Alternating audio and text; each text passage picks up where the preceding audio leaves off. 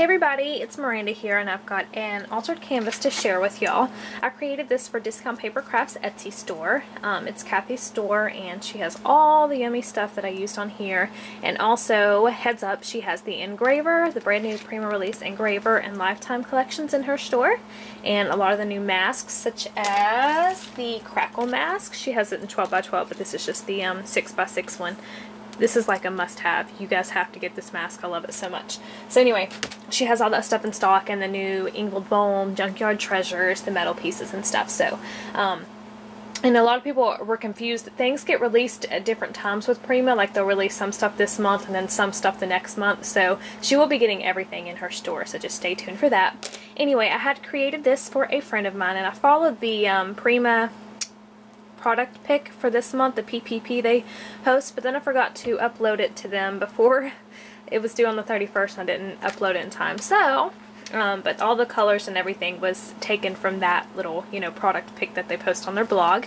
And um, I just wanted to do something really mixed media. I did record the process of this um, up until a certain point and then my camera died and I didn't realize it. So but I think I was pretty well done with it whenever the camera did die. But if you'll notice on the sides here, this paper, it looks like this is on the canvas, like the canvas was printed this way. And I did an image transfer, and I will show you how I did that. So it's not like paper, like you can see the grain of the canvas. You're taking off all the layers of papers until just the image is left on there. I really, really, really like that effect. I mean, I knew you could do it with pictures and stuff, but I didn't know if it would work, you know, covering a whole canvas with it, and it did, so I was happy with it.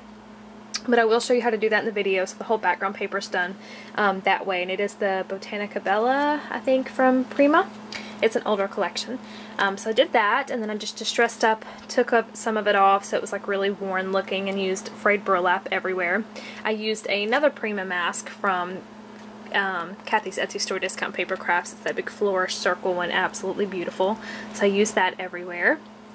And then I used a lot of resin pieces and chipboards. I laid down um, some cheesecloth in different colors. I dyed this one with some um, Glimmer Mist from Kathy's store. It's this one right here. And then the other one I just kept white. And I just kind of layered those going all the way up over here. And this resin piece, this came from Kathy's store. And it's called the, let's see, it's the Marvel collection. So you get the corner pieces in the frame with it. And I used the other corner piece right there. But when I was taking it off, the frame broke in half.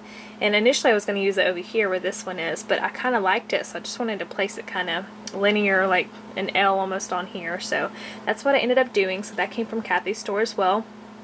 Um, so I lined those there and there. Down here's the um, Prima Lace Bling Trim, and this is from the Prima Almanac collection from Kathy's store, and she does have this in stock. I fussy cut this little tidbit here from the um, Prima Almanac collection, I think a note card or something. This is a Prima key from Kathy's store. You know, some of the stuff I use is from like last year's releases and I'll have a few of them left. Like I think I have two of these, um, or three of these keys left. They look like that right there. So I just used one of those there and kind of whitewashed it a little bit. Um, when I put this frame here, this part was going to be covered up so I wanted to cut that off and kind of use it over here since that frame was broken. Kind of wanted to mimic that effect. So this is from that Petaloo Mistables frames. Absolutely beautiful. I love these so much. They're so pretty. Um, so I put that little piece right there. I did some fussy cutting from the Prima Pixie Glen paper line. It's one of my favorite paper lines that they ever released just for the fussy cutting elements. Like it's my go-to paper when I want to do some fussy cutting. Um, so that little banner came from there. This is a little velvet trinket from Rosarian from Kathy's store. All these flowers are from Kathy's store. I don't remember the names of them. I think this was called like Caballetta or Caballetta. It's two L, so I guess Y. But um, they're from last release with Prima. These are the Godivas. I do know that. And I want to say these are from the Coventry, but I can't quite remember. This is from another Prima spray that I just kind of have coming out over there. This is a Prima Printery chipboard piece that I'd had in my stash for a long, long, long time and finally um, pulled that out and used it over there. A little Prima clock from Ingold Bohm's Junkyard Findings and I put that there. And then this saying is fussy cut out from the Pixie Glen paper line as well, and it says, Who's yesterday's look backward with a smile. And then I did a lot of fussy cutting here, which a lot of it got covered up. There's a whole like flourish thing that's fussy cut over there with the little fairy attached to it, but most of it ended up getting covered up, but that's okay.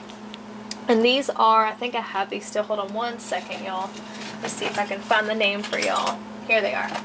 Okay, these are from Kathy's store, and she has these in stock. That's that butterfly right there. They are the um, Fabrique Coffee from Prima and I just whitewashed it and then I used a Prima stamp to stamp on top of it as well and then I just added some chain to the center of it. Um, so that is basically it. I also put the little Prima resin piece up there and you'll see a lot of like seed beads and little glass beads throughout and I just used some um, gel medium and glues to adhere those down randomly all throughout and I just kind of splattered some different sprays and stuff when it was all done and um, I just had a lot of fun creating this little piece. So like I said, I did film start to finish on this, so I will go into that as soon as I'm done rambling here. But I will have a link to Kathy's Etsy store down below, of course, and then a link to my blog as well, and all the products that she still actively has in stock. I will link those directly from my blog, and then also, like I said, the engraver and everything is there. Um, a lot of really cool masks. Prima released a lot of amazing masks this go around, so I'm really excited to get my hands on those. The Crackle one, have to have. Um, so anyway, I hope everybody's having a wonderful week, and I hope you guys like my canvas. If you have any questions at all, just let me know, and I will talk to y'all soon. Bye!